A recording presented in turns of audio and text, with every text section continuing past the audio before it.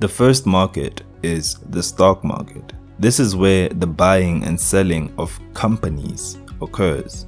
Coca-Cola, Uber, Apple, Google, Microsoft, etc. People buy bits of companies when they're still relatively cheap in the hopes that in the future they will blow up. In the stock market, the earliest bird gets the best cake. The second type of market is the cryptocurrency market. This is where you will find digital currencies such as Bitcoin, Ethereum, and Litecoin. In short, cryptocurrencies are a digital new type of money that was created by regular people instead of being controlled by the state.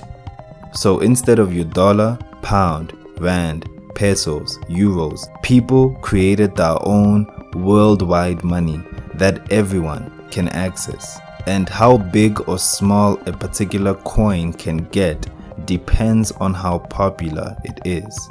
This is why Bitcoin is still the strongest because it is the most popular.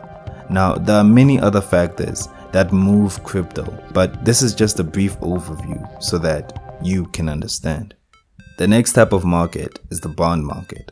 This is for those who trade debts, deposits, mortgage securities, and security deposits. The bond market is an important part of the global financial system and it plays a vital role in providing funding to governments. It also provides funding to corporations and other entities for their operations, investments, and projects. The next type of market is the options and derivative markets. These are financial marketplaces where contracts get their value from an underlying asset, such as stocks, commodities, currencies, or interest rates. It is in these markets in which investors are given the ability to hedge their risk.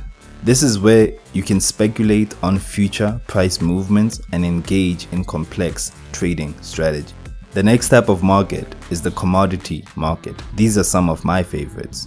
For those who trade crops like grain, wheat, sugar, corn, coffee, livestock, cattle, sheep, etc. And finally, the forex market, of which we trade foreign currencies, the exchanging of money from other countries.